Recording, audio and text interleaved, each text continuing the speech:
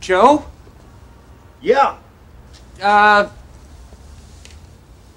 you've had a lot of sex, right? When? Today? Some, not a lot.